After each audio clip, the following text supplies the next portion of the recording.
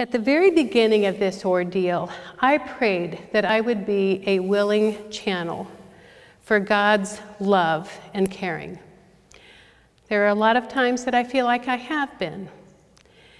And there are also a lot of times that I've realized Madelyn is not enjoying this experience one bit. And I've even got upset and told God, I want to play a different game. You just go find yourself a different servant. When I do that, I usually end up feeling guilty and I ask for forgiveness and I go, uh, I can go back to handling it in a more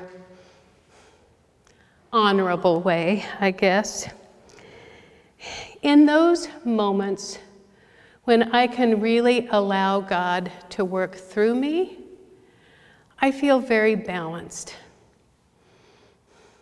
And it's an interesting thing. In those times, I don't feel like I'm the one that's taking the action.